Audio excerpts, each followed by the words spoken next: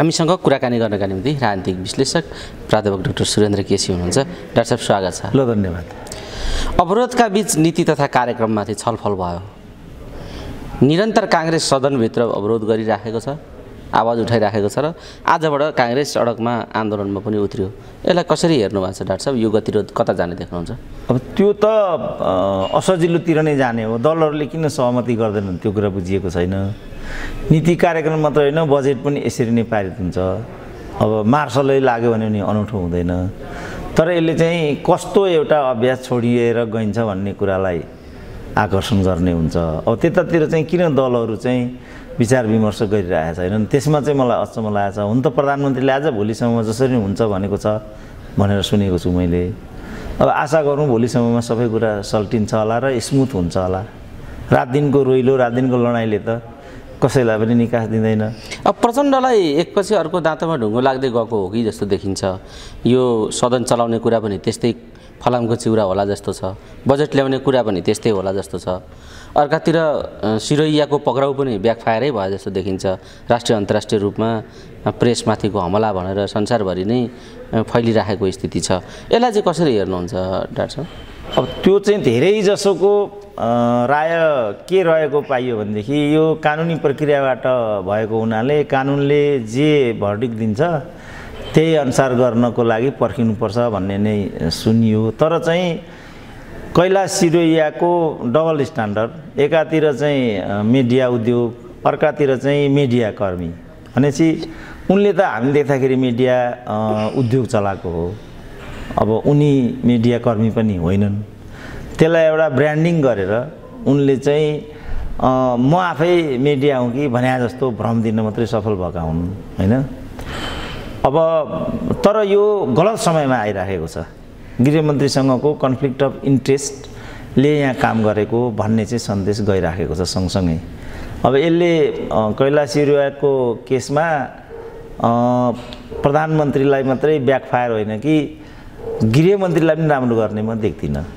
त्यसै कारण मैले के भने सुलहको बाटोमा जानु पऱ्यो यसलाई सल्टाउनु पऱ्यो किनभने यस्तो किसिमको फेक नागरिकता डबल नागरिकता पिआर र चाहिँ ग्रिन कार्ड बोक्नेहरूको ठुलो सङ्ख्या छ नेपालमा र हायर एथोरिटीको त अधिकांशसँग त्यो छ भन्ने छ। अब यो एउटा लापरवाहको कारणले हिजो रवि लामी छानेले पनि दोहोरो नागरिकता बोक्दै हिँडे। अब त्यो हिसाबले पनि उनलाई थाहा थियो कैलाश सिरोयासँग पनि के छ भनेर। कैलाश सिरोयालाई त झन् अधिकांशको स्थिति के छ भन्ने पनि थाहा छ। भनेपछि यो त आम सहमतिबाट मात्रै सुल्टाउन सकिने विषय हुन्छ। बालवटारको हकमा मैले भन्नुको कारण त्यो थियो नि त। एकचोटि जम्मैलाई मिना दिउँ अब यस्तो नगर्ने कसम खाउँ। मेरो भनाइ चाहिँ यो थियो। किनभने अब विष्णु पौडेलले चाहिँ मिना पाउने अनि कुनै अर्को पौडेलले चाहिँ थुनिनु पर्ने भनेपछि त डबल स्ट्यान्ड हो यो सडक जस्तो क्या। बाबुराङको पालमा सडक विस्तार भयो। तर सडक सबै ठाउँमा चाहिँ विस्तार नभएपछि मान्छेलाई के लाग्यो भने यो चाहिँ तेरो मेरो आधारमा जसको सोर्स छ त्यसलाई चाहिँ क्षति बिहोर्नु नपर्ने जसको सोर्स छैन उनीहरूको चाहिँ घरबारै जाने भन्ने खालको भएपछि त्यो अतिक्रमण र मिच्ने प्रक्रिया हो त्यो बढेको बढै भयो। उदाहरणको लागि अहिले बालनले जसरी डोजर चलाइरहेका छन् बालनले गरेको काम गलत भयो कसैले पनि भनेको छैन नि। फोहोर ल्याएर तेरो ढोकामा राखिदिन्छु भन्छन्। राखिदिन्छु भने मात्रै गरि नै सके। अनि- अनि क- महासेटका त ढोकैमा लगेर हालिदिए तिमी जता जान्छौ त्यतै एक ट्रक दैनिक पुर्याइदिन्छु भन्दैछ भनेपछि त मान्छेले वा वा भने त्यसलाई। बालेनले ठिक गरे भनिरहेको बस। अब यो गलत हो तर कहिलेकाहीँ यो निषेधको निषेध भन्छन् नि। निषेधको निषेध सिद्धान्त चाहिँ यहाँ लाग्यो। वामपन्थीहरूले दुनियाँलाई निषेधको निषेध चाहिँ सिकाए। अब अहिले निषेधको निषेध उनीहरू नै सिकार भए। किनभने उनीहरूले भने मात्रै गरेनन्। बालनले चाहिँ भनेनन् गरे मात्रै। फरक यही छ। कानुनको भाषामा यसलाई गलत सत्य पनि भन्छन् अनि बस। यसरी परिभाषित हुन्छ यस्तो कुरा चाहिँ। डाक्टर साहब यो कस्तो खालको अभ्यास हो बालेनको विद्रोह? होइन बालनको दुःख त मान्छेले रिङ रोडमा पाएकै हुन्। उनले पनि त्यसमा कडै एक्सन लिए भनेपछि यसले के देखायो डाक्टर साहब? होइन यसरी हेरौँ न लो यो सरकारले लापरवाह गरेको कोपमा आज सर्वसाधारण पऱ्यो भने बालनकै पनि विकासको मोडल हेरौँ न त कस्तो छ त? अगाडि अगाडि उनी वृक्षारोपण गर्दै हिँड्छन् पछाडि पछाडि उनी तोडफोड गर्दै हिँड्छन्। एउटै कुरा त हो नि। लो एउटै कुरा हो कि ल हेरौँ पुतली सडकको डिल्ली बजारको उकालोको न्यू प्लाजाको बाग बजारै हेरौँ। बाग बजारै हेरौँ फु- पोहोर फुल रोप्यो अहिले जम्मै भत्काइ अनि? अनि यो त्यसैले मैले भने एज ए होलमा उस्तै हौँ हामीहरू। हामीलाई भनेको तात्विक चेन्ज चाहिएको छ। त्यसको लागि हाम्रो बिचमा सहमति चाहिन्छ। जस्तो अहिले चाहिँ अन्डरग्राउन्डको लागि बिजुलीले को परेको को परै छ। भोलि टेलिफोन आउँछ। तुरुन्तै खानेपानी आइहाल्छ। अनि अनि खानेपानी आउँछ। अनि यो त आज पिच गर भोलि भत्काइहाल्छ। भत्काइहाल्छ। यो त कुनै सडक विभागको कमजोरी कुनै विद्युत विभागको कमजोरी होइन नि त। हिजैदेखि नगरपालिकाले यस्तो नै गरेर आयो। त्यसको अविच्छिन्न उत्तराधिकारित्वमा चाहिँ अहिले बालन शाह छन्। उनको पनि कार्य प्रक्रिया र कार्यशैली अलमोस्ट त्यही छ। त्यस कारण मैले के भनेको भने एउटा श्वेतपत्र ल्याउँ पहिला। कहाँ कहाँ यस्तो भएको छ र नगरपालिकाले कहाँ कहाँ यस्तो गर्न चाहेको हो? त्यो अनुसार चाहिँ मानसिक रूपमा हामीहरू तयार हौँ। तेस्रो वर्षमा गएर अनि डङ्की डङ एउटा चाहिँ कार्यारम्भ गरौँ। चौथो वर्षमा चाहिँ बालन शाहको मोडल सहर हामी देख्ने नै छौँ। पाँचौँ वर्ष उनलाई हामी फेरि निर्वाचित गरिदिन्छौँ। भइहाल्यो नि त। अनि जुन घर दिएको जुन ठाउँ दिएको यहाँ भत्काउँदै जाने उता के गर्दै जाने कहाँ त्यो गरेपछि त एउटा समयसम्म मान्छेले यो कुरालाई स्वाभाविक रूपमा लिएला। कुनै एउटा बिन्दुमा गएर त फेरि भ्रष्ट होला। अनि त्यसबाट के फाइदा हुन्छ त? जहाँ जहाँ यो जस्तो हामी खरे खोला हेर्न गयौँ। करोडौँ बजेट जुन बेला त्यो खरे खोलामा चाहिँ प्रहार भइराखेको थियो नगरपालिकाको त्यो वर्ष पनि दुई करोड चाहिँ बजेट छुट्याइएको थियो त्यहाँ। भनेपछि त सरकारले गरेको काम हो त्यो त। योजनाबद्ध गरेको काम हो। भनेपछि सरकारका आधिकारिक निकायहरूले सडकमाथि चाहिँ पिच गर्नु सडक खोलामाथि सडक बनाउनु कस्तो हुन्छ भनेर ध्यान पुर्याउनु पर्दैन। त्यो त खोलामाथि सडक बनाएको कुरा हो। आज चाहिँ म चाहिँ पुतली सडकमा ट्याक्सीबाट बिच त्यो न्यू प्लाजाको सडकमा चाहिँ उत्रे उताबाट आउँदाखेरि कोसी नदी जस्तो पानी आइरहेको थियो आज। मान्छेलाई पत्यार लाग्दैन होला। बयालिस डिग्री छ झापामा। पानी काठमाडौँमा यत्रो आएको छ भन्ने कुरा त्यहाँ विश्वासै हुँदैन होला। तर कोसी नदी जत्रो थियो त्यो पानी त्यहाँ। ट्याक्सीवालाले के भन्यो भने यताबाट म जान सक्दिनँ किनभने केही गरी चाहिँ पानी गाडीको मेसिनमा गयो भनेदेखि जहाँको तहाँ चाहिँ स्टार्ट रोकिन्छ अरे। मैले चाहिँ म त्यहीँबाट उत्रेँ ट्याक्सी त्यहीँबाट मैले छोडिदिएँ। हाम्रो यस्तो छ काठमाडौँको विकास। भनेपछि आज कति आएको त? पन्ध्र मिनट पनि आएको थिएन आज पानी। तिन दिन त्यत्रै पानी आयो भने के हुन्छ त यहाँ? सुकुम्बासीहरू तल जबरजस्ती बसिरहेछन्। पुतली सडकमा यत्रो डुबान हुन्छ भने सुकुम्बासीमा के हुन्छ त भोलि? त भनेपछि व्यथिति त चारतिर छ। यो व्यथिति गराउनमा सबैभन्दा उल्लेखनीय भूमिका खेलेको भनेको त नगरपालिकाले नै हो नि त। त्यसकारण यसको दोष न सुकुम्बासीलाई जान्छ न भ्रिकुटी मन्दभित्रका चाहिँ बासिन्दाहरूलाई जान्छ न यो सडक मिचान गर्नेहरूलाई जान्छ। यो त एउटा विरासत हो नि त। हामीले विकास गरेको विरासत हो। हामीले नै यसलाई सुधार्नुपर्छ। र त्यसको अगुवाई नगरपालिकाले गर्नुपर्छ। ठिकै छ।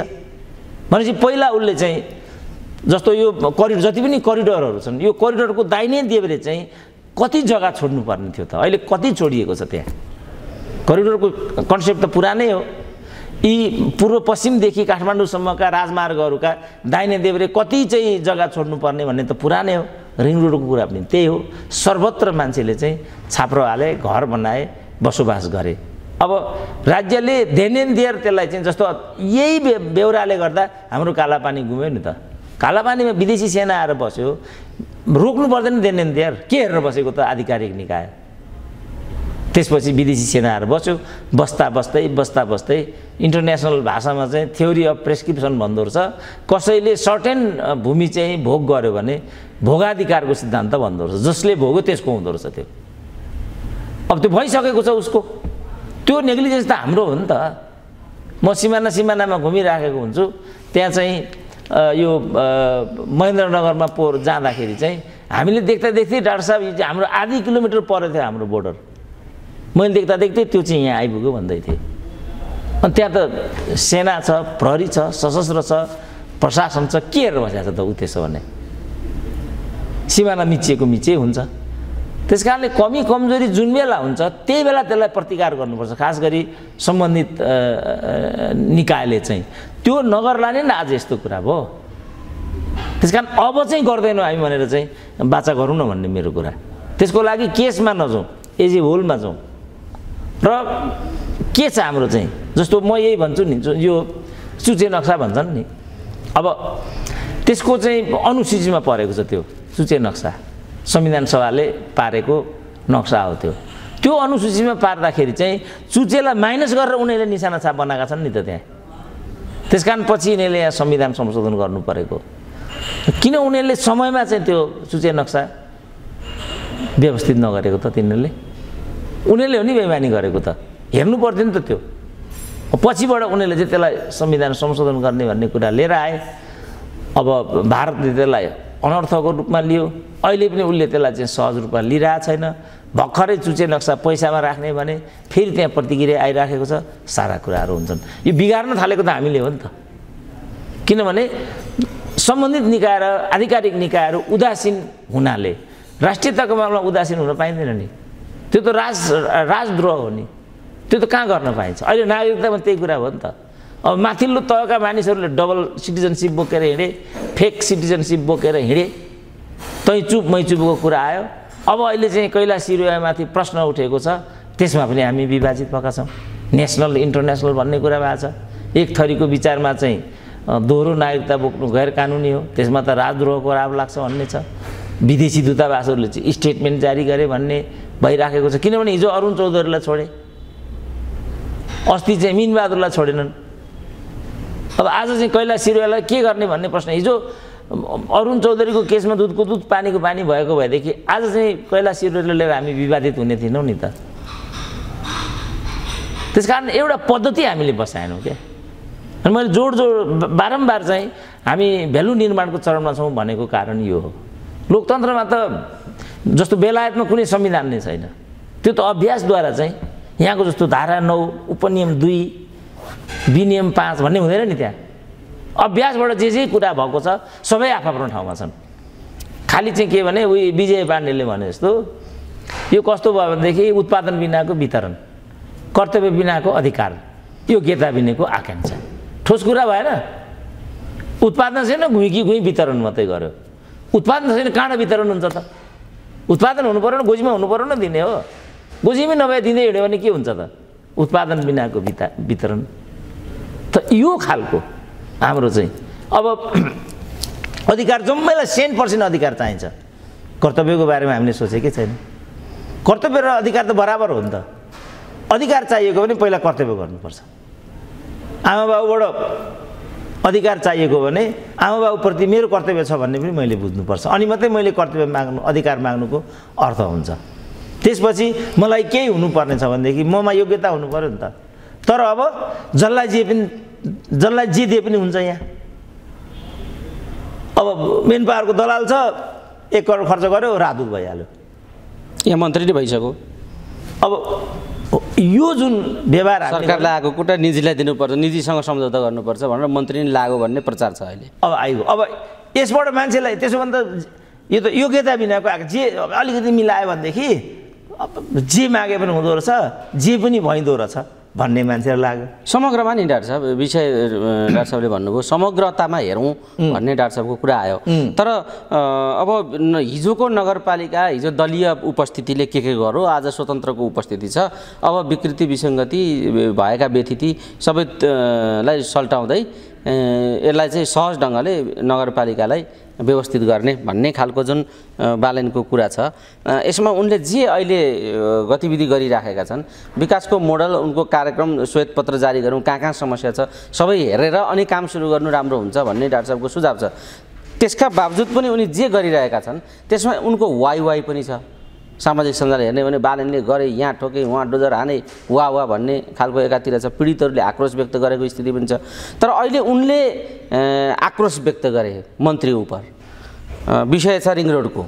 यसलाई चाहिँ तपाईँ ठ्याक्कै कसरी लिनुहुन्छ? अब भनिया उनी त अख्तियारवाला व्यक्ति हुन् नि के यो अराजकता हो कि? अख्तियारवाला व्यक्ति हुन्। अख्तियारवाला व्यक्तिले त नियम कानुनलाई चाहिँ उल्लङ्घन गर्न सक्दैन र समन्वयात्मक ढङ्गले जानुपर्ने हुन्छ। स्थानीय उनी स्थानीय सरकार हुन्।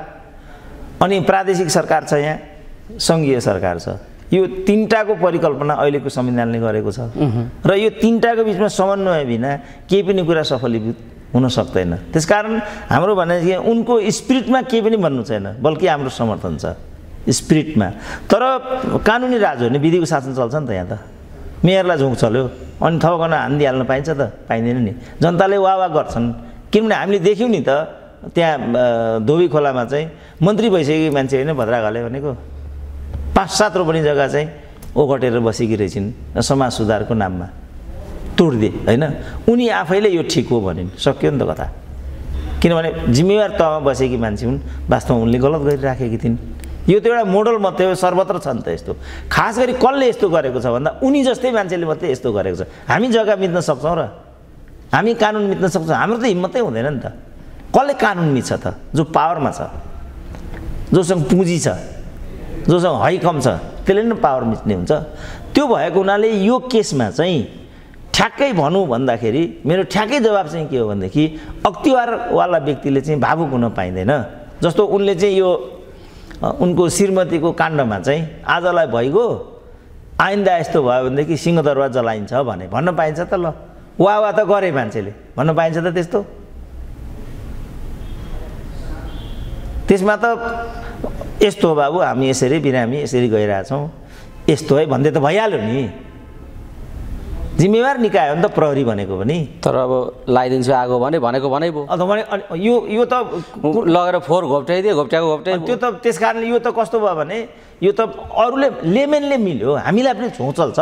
हामी पनि भन्न पाउने भयौँ। तर अख्तियारवाला व्यक्तिले त्यस्तो गर्न थाल्यो भने झोँक चल्यो मैले त गोली चलाइदिएँ भन्दैला प्रहरीले भोलि पाइन्छ। भर्ता गऱ्यो मलाई एकदम ठिक लागेन। हानिदिएँ भन्न पाइन्छ त। तर यहाँ त अब मन्त्रीहरूले नै त्यसो गरिराखेको स्थिति छ। म अलिक तलै ओर्लेर भए पनि यो विषय राख्छु भनेर सदनमा विषय राखेको स्थिति पनि छ। मन्त्री पनि त्यो तहका छन् त्यो सदनमा तल ओर्लिन पाइन्छ त। तर ओर्लिए। राखे विषय सबैले। यस्तो खालको माथिदेखि नै हुँदै आयो डाक्टर साहब। अब यो यो यसलाई के भन्ने? समग्रमा अब एउटा अराजकता भन्ने कि यसलाई अब सुधारको प्रयत्न भन्ने कि? के भन्ने यसलाई यो त? होइन यो चाहिँ अब एक त सङ्क्रमणकालीन अवस्थाको धोतको पनि भन्न सकिने भयो। तर प्रधानै मन्त्रीले चाहिँ अस्ति चाहिँ कसरी चाहिँ प्रधानमन्त्रीको त्यस्तै त्यसपछि उथल पुथल गराइदिन्छु। बस यो भयो। तेरो पार्टी फुटाइदिए। गठबन्धन बचाउनको लागि। लागि। भन्ने बनाउँदा यस्ता हुन्छन्। बस। भनेर हिँडिरहेको स्थिति छ यहाँबाट चाहिँ जे मैले भने नि जसले जे गरे पनि हुन्छ भन्ने मान्यता भयो कहाँ हाम्रो देशमा? कहाँ जसले जे पनि गर्न पाइन्छ र। विधिको शासन त कानुन सम्मत पो हामीले केही पनि कुरा गर्नुपर्ने हुन्छ त। त्यस कारण मैले भन्ने कुरा चाहिँ के हो भने हामी जम्मै जिम्मेवार हुनुपर्छ। त्यो कुरा सत्य हो। तर अख्तियारवाला अझ बढी जिम्मेवार हुनुपर्छ। ठिक छ डाक्टर साहब। यो विषयलाई यहीँ रोकेर जिम्मेवार बन्नुपर्छ जिम्मेवार निकायले भन्ने कुरा डाक्टर साहबले जोड तोड राख्नुभयो। वास्तवमा तीबाट अराजकता हो भने तल के होला? आम मान्छेले लेमेनहरूले के गर्लान् भन्ने पनि एउटा डाक्टर साहबले चिन्ता व्यक्त गर्नुभएको छ। यो एउटा सन्दर्भ छँदैछ डाक्टर साहब अहिले पछिल्लो समयमा अलिकति सदनतिरै जोड्न चाहन्छु। अब बजेटको कुरा छ। बजेट जारी गर्नुपर्ने छ नीति कार्यक्रममा विवाद हल्लाका बिच छलफल भयो भन्ने छ। त्यो छलफल कसरी अगाडि बढ्छ बजेट कसरी जारी हुन्छ भन्ने कुरा पनि छ। अब अर्कातिर चाहिँ अध्यादेश र मध्यावधिको खतरा छ भन्छन् धेरै मान्छेहरू। तपाईँले पनि यो अब त्यतातिर जाने हो कि भन्ने केही अन्तर्वार्ताहरूमा चिन्ता व्यक्त गरेको स्थिति पनि थियो। के देख्नुहुन्छ डाक्टर साहब? अब यो मध्यावधि र अध्यादेशको खतरातिर विषय अघि बढेको हो। यो अन्यथा अध्यादेश भए पनि गरिन्छ भन्ने खालको प्रधानमन्त्रीको सङ्केत आइ नै सकेको छ। अब बजेट तलब सुविधा इत्यादि त रोक्न पाइँदैन। त्यो गर्नु नै पर्ने हुन्छ। त्यस्तो अवस्थामा अध्यादेश पनि आउन सक्ने भयो। तर मैले देख्दाखेरि नीति कार्यक्रम पनि पास हुन्छ बजेट पनि पास हुन्छ। जबरजस्ती भए पनि पास गरिन्छ त्यो। यसले कस्तो नजिक तल जान्छ भन्ने कुरा मात्रै बाँकी रहन्छ। जहाँसम्म मध्यावधिको कुरा हो त्यो चाहिँ हुँदैन। खालि एउटा कार्यक्रममा मेरो एकजना एमालेका सांसदसँग भेट भएको थियो। अब मध्यावधितिर हो विकल्प छैन भन्दै थिए उनले। त्यो कुरालाई मैले कोट गरेको तर मध्यावधि हुँदैन। किनभने मध्यावधि हुनु भनेको प्रतिगमन हुनु भन्ने चाहिँ भाष्य खडा गरेका छन् यिनीहरूले। त्यसकारण अब त्यो प्रतिगमनको चाहिँ ट्याग लिन कोही पनि तयार हुँदैन। जस्तो संविधान सभाको चाहिँ जेठ चौध गते अन्तिम समय सीमा अदालतले तोकिदिएको थियो। त्यो समय सीमा चाहिँ एक्सपायर्ड भयो अटोमेटिकल्ली पहिलो संविधान सभा विघटित भयो। फलस्वरूप त्यो संविधान सभा कसले विघटन गरेको भन्ने दोष आरोपण कसैले पनि खप्नु परेन नि। अदालतले जेठ चौध गतेभित्रमा संविधान बनाइसक्नु भन्ने आदेश दियो। त्यो जे समय सीमाभित्र संविधान सभाले संविधान जारी गरेन त्यो अटोमेटिकल्ली विघटित भयो। वास्तवमा त माओवादीका पालामा त्यो विघटित भएको छ। त्यसलाई बचाउने अन्तिम दायित्व पनि माओवादीकै थियो। किनभने उसको भनाइ के थियो भने यो संविधान सभाको त जन्मदाता नै हामी हौँ भन्ने थियो। अरू त बाई द वे मात्रै आएका हौँ। वास्तवमा संविधान सभा त हाम्रो भन्ने कुरा जस्तो थियो उसको थियो। फेरि किन नबचाएको त उसले? उसकै पालामा त्यो मऱ्यो तर त्यो दोष उसलाई पनि गएन किनभने अदालतले जेठ चौध गतेको समय सीमा राखिदिएको थियो। तोकिएको समय सीमाभित्र चाहिँ संविधान बनेन। त्यो विघटित भयो। भनेपछि यो बजेटको सन्दर्भमा पनि मैले देख्दाखेरि नीति कार्यक्रममा पनि पास सके त। यो हाम्रो बोली बजारमा आउनुभन्दा अगाडि यो पा आउ आउँदा नआउँदा पारितै हुन्छ यो। त्यही विधिबाट बजेट पनि बजेट पनि पारित हुन्छ। डाङडुङ गरेर पनि पारित पास गर्छन् साथीहरूले। किनभने खानु त परिहाल्यो। खानको लागि क्यालोरी त चाहियो। क्यालोरी पेटमा हाल्नको लागि बजेट चाहियो त्यो मैले पहिला नि भनेको छु। मुख्य कुरा यसले कस्तो नजिर तल जान्छ त? फेरि भोलि यही कथा दोहोरिने हुन्छ। त्यो बेला बजेट कसरी पारित गर्ने त? नीति कार्यक्रम कसरी पारित गर्ने? जस्तो चाहिँ राष्ट्रपतिलाई धन्यवाद दिइएन। साथीहरूलाई मजा लागेको यो त गलत हो नि त। गलत हो। किनभने राष्ट्रपतिलाई विवादमा ल्याउन पाइँदैन नि। त्यो त निर्विवाद संस्था हो नि। किङ क्यान्डो नो रङको सिद्धान्तबाट त्यो चल्छ। तर त्यसैले बोलाउने त्यसो भने पहिले हाम्रो यसमा सहमति हुँदैन है। कि पहिल्यै बहिष्कार गर्नुपर्ने थियो। बसेर टुलु टुलु सुन्ने। अनि टुलिसके सुनिसकेपछि थ्याङ्क यू त भन्नु पर्दैन। थ्याङ्क यू दिने बेलामा हुँदैन भन्ने। त्यो त अपरिपक्वता भयो नि त। अनि यसले कस्तो नजिर बस्यो त भोलि? अब पछिसम्म पनि राष्ट्रपतिको धन्यवाद ज्ञापन दिने कार्यक्रममा अवज्ञा गर्न पाइन्छ भन्ने यसबाट नजिर गयो। त्यसै कारण अहिले भन्दैछन् नि त यो गृहमन्त्रीले बोलेका कुरामा चाहिँ कतिपय विषयहरू त्यहाँबाट हटाउनुपर्छ भन्दैछन् नि त। किनभने भोलिसम्म रहनेको त्यहाँ त रेकर्डेड भयो। कसैले चाहिँ सुजना बेच्थे कसैले घडी चोर्थे कसैले चाहिँ जेठो छोरालाई माइलो बनाएर जापान पठाए। को हुन् त ती मान्छेहरू? पछिसम्म त्यो रेकर्ड रहने भयो कि त। त्यसै कारण रवि लामिछानेलाई डे वानमै बोल्न दिएको भएदेखि उनले यस्तो कुरा बोल्नै पाउँदैन थिए नि त। किनभने गैर जिम्मेवारीपूर्ण अभिव्यक्ति हो नि त यो। तिमीहरूले गैर जिम्मेवारीपूर्ण अभिव्यक्ति विधि व्यवहार गरेर मलाई गाली गरेको हुनाले तिमीहरूले मलाई चाहिँ प्रमाणित नभएको कुरामा सहकारी ठग भन्नुहुने भनेदेखि तिमीहरूले नै ठगी गरेका छौ भने मैले भन्नु किन नहुने? भन्ने लाइटबाट अब कि त छैनस् कि म छैनमा आए संसदीय व्यवस्था त मोरल इथिक्सले पो चल्छ त। कि छ कि त छैनस् कि म छैन त अधिरमा नायकवादी व्यवस्थामा मात्रै हुन्छ। कतिपय मुलुकमा चाहिँ भोकाएका कुकुरलाई दुई सय मान्छे फाल्दे भन्थे नि। तोपले आफै उडाइदिए भन्थ्यो नि। त्यो डिक्टेटरसिपमा मात्रै हुन्छ। लोकतन्त्रमा त्यस्तो हुँदैन। यो त मोरल इथिक्स मलाई तपाईँको कुरा मैले सुने तपाईँको कुरा मेरो तपाईँको कुरामा मेरो गम्भीर असहमति छ। तैपनि तपाईँले भन्नुभएको कुरा व्यवस्थित रूपमा प्रस्तुत गर्नुभएकोमा धन्यवाद छ। यो हो संसदीय मर्यादा र संसदीय पद्धति भनेको चाहिँ। मन पर्दैन तर त्यसलाई चाहिँ सहज रूपमा लिनुपर्ने हुन्छ। आफूलाई गाली भयो आलोचना भयो भने पनि त्यसबाट उत्तेजित हुनु हुँदैन। त्यो हो संसदीय व्यवस्था भनेको वेस्ट मिनिस्टरियल मोडल भनेको चाहिँ त्यो हो। अब यहाँ प्रधानमन्त्री नै दाराकिट दिन्छ गाली गलोजको भाषा चाहिँ मन्त्रीहरू प्रयोग गर्छन्। प्रतिपक्ष चाहिँ तोडफोडमा उत्रिन्छ।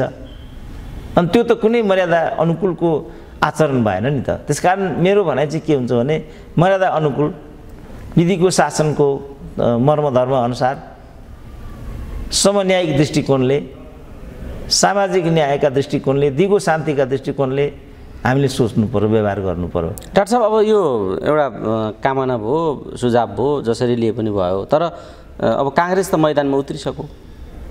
शक्ति प्रदर्शन गर्दैछ काङ्ग्रेस सडकमा अब। यसलाई कसरी लिनुहुन्छ? यो कता यो आन्दोलनको गन्तव्य के हो नेपाली काङ्ग्रेसको? अब के देखिन्छ यो? होइन उसले त भनिहाल्ने मेरो भनाइ त एउटै छ संसदीय व्यवस्थामा प्रमुख प्रतिपक्षलाई इग्नोर गर्न पाइँदैन। त्यो उचित हुँदैन। जसरी हुन्छ आपस्तमा बसेर चाहिँ सहमतिको एउटा वातावरण बनाउनु पर्छ। मैले भन्नुपर्दा भन्ने कुरा यति मात्रै हुन्छ। तर हिजोदेखि मैले भनेको चाहिँ यो स्थिति आउँछ नेपाली काङ्ग्रेसले बाटो बिराउनु हुँदैन है भन्थेँ म। नेपाली काङ्ग्रेसले बाटो बिराउनाले नै आजको प्रतिकूल राजनीति आइलागेको छ नि त। डे वानदेखि यसमा एक त एमालेलाई विभाजन गराउने जस्तो काम काङ्ग्रेसले गर्नु उचित हुँदैन। त्यो कुरामा काङ्ग्रेसले गल्ती गर्दैछ। यो गल्तीको दोष भागी उसले पछिसम्म रहिरहनुपर्छ। भन्थे आज त्यही कुरा भयो। अब त्यसपछि अर्को कुरा काङ्ग्रेस एमाले आलो पालो सत्ता आरोहण गर्ने हो भनेदेखि बाँकी सबै च्याखे थाप्ने त कहाँ पुग्छन् कहाँ पुग्छन् नि। अनि मैले भनेको प्रमुख प्रतिपक्षको रूपमा माओवादीलाई राख्नु प्रचण्ड गठबन्धन निर्माण गर्नमा माहिर छन् संविधान दोस्रो संविधान सभाको कालमा प्रचण्डले तिस दलीय गठबन्धन बनाएका थिए। अब अहिले पनि प्रतिपक्षीहरूको दस दलीय गठबन्धन बनाउनु सिद्धिहाल्यो कुरा।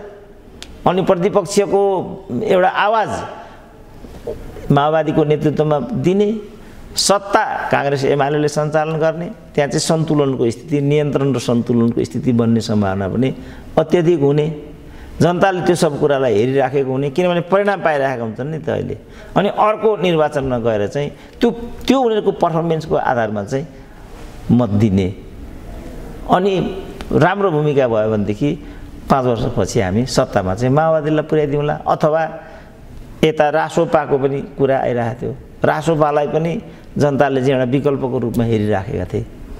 उसले पनि त्यो विकल्पलाई चाहिँ भोलि मूर्तिकृत गर्ने गुन्जाइस प्रशस्त नै रहन्थ्यो। तर जम्मैलाई सत्तै चाहिने। अर्कालाई मारेर भए पनि आफू बाँच्नुपर्ने। अनि अर्कालाई मारेर आफू बस्नुको के अर्थ हुन्छ भने? त्यो लिभ एन्ड लेट लिभ भन्छ नि हाम्रो पूर्वीय फिलोसफीले। बाँच र बाँच्न देऊ।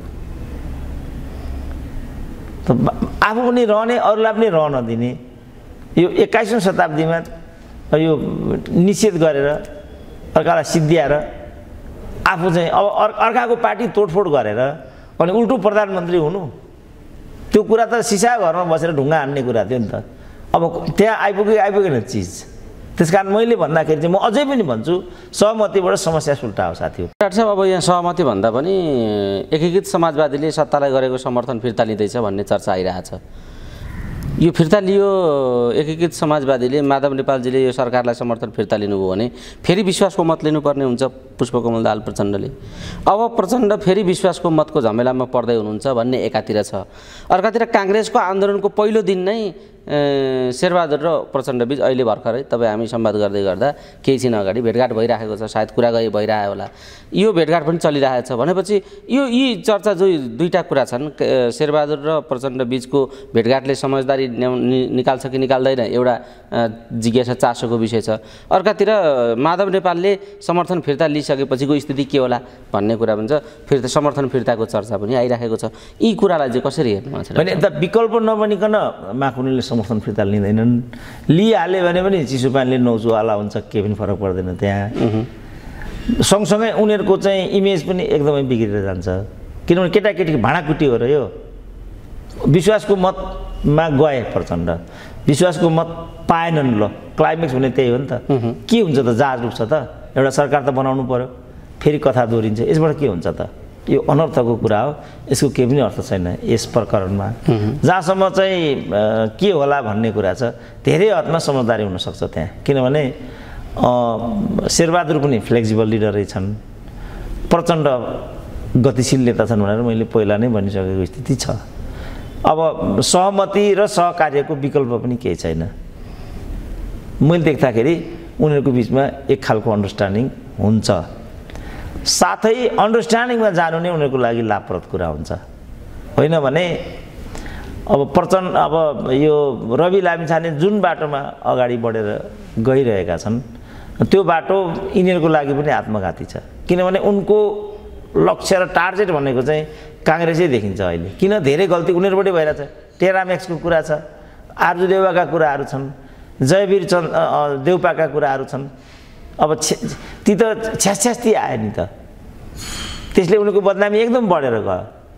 सायद यो कारणले काङ्ग्रेस बढी आत्तिएको हो कि भन्ने पनि देखिएको छ। र जनमानसको चाहिँ के एउटा अपेक्षा छ भनेदेखि यी कुराहरू चाहिँ फोरपारक हुनुपर्छ र यसरी चाहिँ कमी कमजोरी गर्नेहरू दण्डित हुनुपर्छ भन्ने नै जनमानसको अभिप्राय पनि देखिन्छ। भनेपछि कतैबाट पनि यो ल्याङल्याङले ठुला दलहरूलाई फाइदा हुने परिवेश त केही पनि छैन। त्यस कारण उनीहरू परिपक्व हुनुपर्छ। तर अब परिपक्व हुनुपर्छ फाइदा छैन भन्ने कुरा एउटा हो। तर अब फेरि पनि देउबाका लागि सहज त पुष्पकमल दाल प्रचण्ड नै देखिनुभयो। केपी ओलीसँग त सामान्य संवाद समेत भएको स्थिति देखा परेन। यसलाई चाहिँ कसरी लिनुहुन्छ डाक्टर साहब? त्यो त अब उनीहरूको हिजोको लगानी हो। हिजो शेरबहादुरले नै भनिरहेछन् कतिचोटि फोन आउँथ्यो म कहाँ ओलीको। प्रचण्ड चाहिँ भड्केलान् भनेर मैले फोन समय एटेन्ड गरिनँ। आज यो नियति आइलाग्यो भनेर भनेका छन्। हिजो शेरबहादुर पनि त केपीबाट त अलगै रहेछ नि त। त्यस कारण मैले भने अलिकति स्टेटमेन्टसिप चाहियो। अलिकति सेक्रिफाइसको भावना चाहियो। प्रचण्ड यस्तो पल्टुराम हुँदा हुँदै पनि सेक्रिफाइस गर्नमा अरूभन्दा अगाडि छन् नि त। उनी अरूलाई बनाएर पनि हेर्छन् लिएर पनि हेर्छन् उनी। छोड्नु पऱ्यो भने वाक्कै छोडी पनि हाल्छन्। अरू त छोड्नु पऱ्यो भने आत्महत्या गर्ला जस्तो गर्छन्।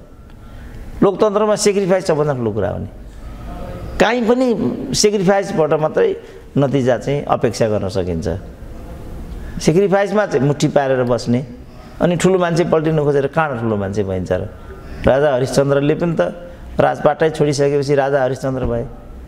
रामचन्द्र भगवान्ले पनि राजपाट छोडेपछि बाबुको आदेश मानेर चौध वर्ष वनवास गएपछि नै रामचन्द्र सत्यवादी भए आदर्श पुरुष भए। अब वचनमा गिर्नुभन्दा बरु ज्यान छोडिदिन्छु भने दशरथ देन दिन चाहिँ दिवङ्गत भए। त्यो माग माग्ने कोही केहीहरूले पो बदनामी बाहेक के बेहोर्नु पर्यो? यही कुरा महाभारतको यही कुरा अरू ग्रन्थहरूले भन्छन्। एउटा आदर्शमा हिँड भनेर न कथाकारहरूले त्यति विलक्षण कल्पनाहरू गरेका थिए। त्यस कारणले हामीले आदर्श भन्ने कुरालाई चाहिँ उभ्याउँदै उभ्याएनौँ कि यो समाजमा? खालि उपभोक्तावाद र सत्ता स्वार्थ। उपभोक्तावाद र सत्ता स्वार्थमा चाहिँ लिप्त भइयो भने त त्यसले त काहीँ पनि परिणाम दिँदैन नि त। हामी आशा गरौँ प्रचण्ड र शेरबहादुरको भेट फलदायी बनोस् दलहरूको बिचमा सहमति कायम होस् र हामीहरूले चाहिँ सुशासन र सामाजिक न्याय पाउन सकौँ। मैले चाहिँ अपेक्षा गर्दा र भन्नुपर्दा यिनै कुरा भन्न चाहन्छु। अब बाँकी त हामीभन्दा जान्ने छन् उनीहरू। उनीहरू हामीभन्दा ठुला पनि हुन् सात अब यो गृहमन्त्रीको विषयमा चाहिँ कसरी होला त? विषय त उनीहरूले कार्यदलकै विषयले अहिलेसम्मको बबन्डर भइराखेको स्थिति छ बाहिर हेर्दा। यो चाहिँ समाधान कसरी निस्केला डाक्टर साहब? यसको समाधान सहज छ। अब गृहमन्त्री टसमस छैनन् प्रधानमन्त्रीलाई यो सरकार जोगाउनु छ आफू जोगिनु छ। गृह गृहमन्त्रीले आफ्नो पार्टी लिएर बाटो लाग्ने बित्तिकै यो सरकार रहँदैन सरकार रहँदैन।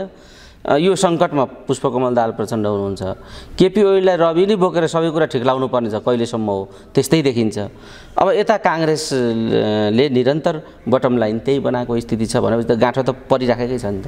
होइन यो केपी ओली लिएर हिँडेको भन्ने कुरा यसमा मैले देख्दा आकर्षित हुँदैन। होइन बाहिर आरोप मान्छेको आरोप त्यस्तो त्यसमा जान सकिँदैन किनभने एउटा ग्रान्ड डिजाइन अन्तर्गत बनेको कोइलेसन हो यो। त्यस कारण यो केपी ओली सिपी ओली भन्ने कुरा यसमा हुँदैन। जहाँसम्म रासोपाको कुरा छ रासोपा त्यहाँबाट बाहिरी नै स्थिति आयो भने पनि सम्बन्ध जारी रहन्छ।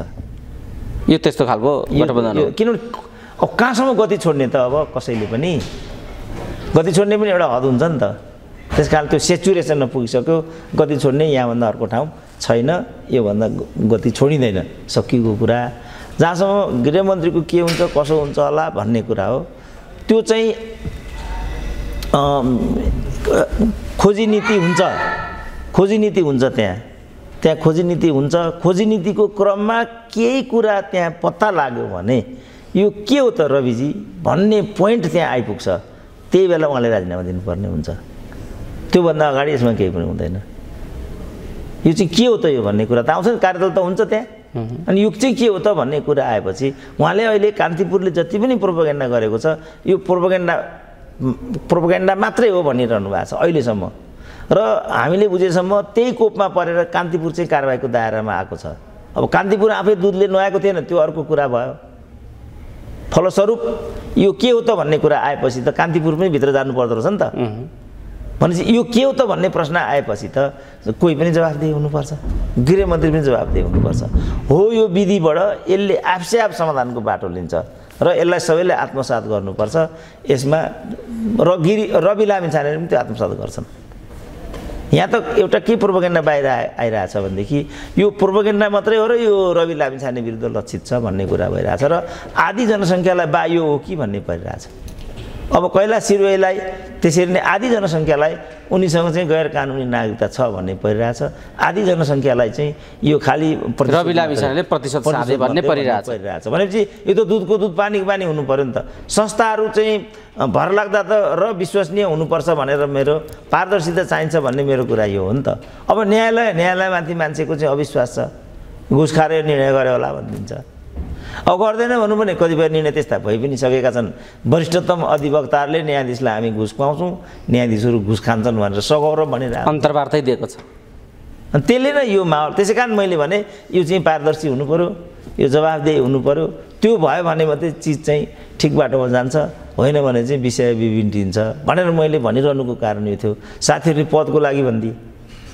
एक सय दिनको कुरा मैले किन गरिदिएको थिएँ भने त्यो बेलासम्ममा रवि लामी छाने नै विरुद्ध पनि केही कुरा छ भने यथेष्ट डकुमेन्टेसनहरू हुन सक्थ्यो नि। र त्यो प्रतिपक्षको भूमिका रचनात्मक र जिम्मेवार प्रतिपक्षको भूमिका हुन्थ्यो उसकै इज्जत बढ्थ्यो।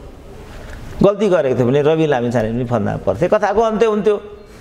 तर अब यहाँ त कसले के गरिरहेछ कसले के भनिरहेछ भन्ने कुरामा नै कुनै किसिमको मेरिटोक्रेसी बनेन। ए चित्त विरोधीले भन्छन् नि भने जस्तो। त त्यस कारणले यो जुन गैर जिम्मेवारीपना छ हामीले यो हटाउनुपर्छ। हाम्रो प्रजातान्त्रिक अभ्यासलाई चाहिँ परिपक्व बनाउनुपर्छ बलियो बनाउनुपर्छ। हामी चाहिँ स्वार्थी र अराजक भएको हुनाले पनि हामी ठिक दिशातिर गइरहेको छैनौँ। ठिक दिशातिर जानै पर्छ ठिक दिशातिर नजाने हो भनेदेखि प्रचण्डले त भनेकै चाहिँ यो महँगो पर पर्छ भनेर। साँच्चै महँगो पर्छ। हवस् डाक्टर साहब समय दिनुभयो यो समय र संवादका लागि यहाँलाई धेरै हवस् धन्यवाद।